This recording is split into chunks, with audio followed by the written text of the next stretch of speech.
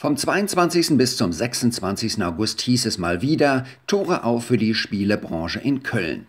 Mehr als 350.000 Besucher kamen in diesem Jahr zur Gamescom, ein neuer Rekord. Die Kölner Spieleshow ist damit die größte Messe im Bereich der IT und Unterhaltung in Europa. Seit 2009 findet sie auf dem Messegelände statt und zieht Jahr für Jahr Hunderttausende Spielefans an. 919 Unternehmen präsentierten ihre neuesten Entwicklungen und füllten damit von Mittwoch bis Samstag ganze elf Hallen. Die Gamescom ist eine zentrale Plattform für die europäische Computer- und Videospielebranche.